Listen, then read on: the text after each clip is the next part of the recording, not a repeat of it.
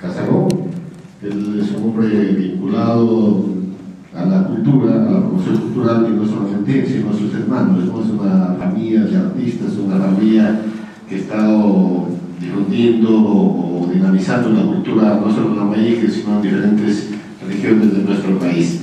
En estos momentos este, el señor Walter Casaró se encuentra bajo la responsabilidad del Teatro 2 de Mayo, es una, digamos, un teatro que en este momento lo está administrando la licencia pública de, de Chiclayo. Así que cedemos el uso de la palabra a Werner Casano. Muchas gracias. Buenas noches. Agradezco que me den la oportunidad de poderme dirigir a ustedes. Soy consciente de que hay gente que conoce mucho más de teatro, de arte, de cultura que yo.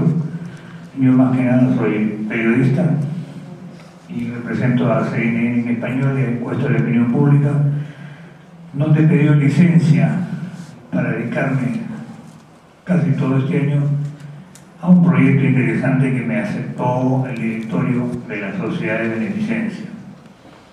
Es mucho, quizás lo que tenga que decirles, pero voy a tratar de ajustarme a estos cinco minutos austeros que nos han dado. ¿no? Bien, eh, Referente al teatro que estoy a cargo de su restauración, también me han aceptado en el directorio que en el teatro funcione eh, escuelas de arte. Ese es el nombre, Escuelas de Arte de la Sociedad de Beneficencia de Chiclayo en el Teatro 2 de Mayo. Estamos habilitando el cuarto nivel donde funcionará una escuela de ballet, un coro, una orquesta, escuelas de arte relacionadas con pintura, con escultura y otras disciplinas afines, porque somos huérfanos de padre y madre de cultura. Hemos tenido la suerte de tener un personaje como Julio Fernández que ha cedido este ambiente para la cultura gracias a su sensibilidad artística que no, no la está demostrando. Quizás en la segunda vuelta pueda ser un poco más, más específico realmente de los alcances.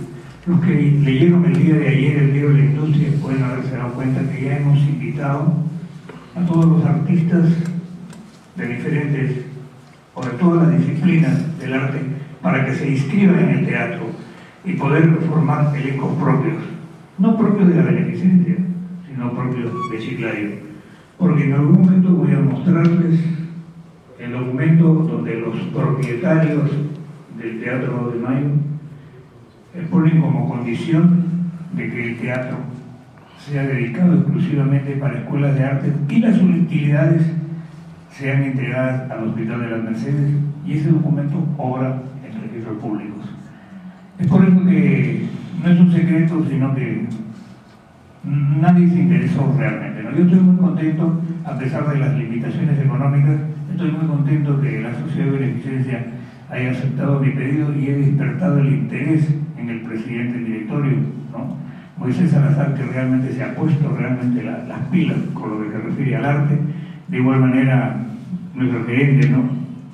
Víctor Vera Toro, realmente tiene un especial interés en lo que es el arte y la cultura. Y qué bueno que aparezca esta noticia extraordinaria que ya tenemos un Ministerio de la Cultura, ¿no? Estamos realmente contentos y felices de habernos adelantado un poquito a esta, realidad. Quiero saludar a estos dos chicos que han venido de Piura y que en su pueblo dice Delegación de Piura. Gracias por venir, ellos han, venido a esta reunión directamente desde Piura. Gracias chicos, Chiclayo tiene las puertas abiertas para ustedes. Yo sé que tengo mucho que conversar con ustedes, me gustaría que lean el diario de ayer de la industria de una editorial especial dedicado a lo que va a ser el Teatro 2 de Mayo, que no es propiedad de la beneficencia y no es un patrimonio cultural de la humanidad. Y qué bien que esté en el teatro más antiguo de Sudamérica y de mejor sonido. Creo que se me han terminado mis cinco minutos, pero creo que en la segunda vuelta podemos seguir conversando. Gracias.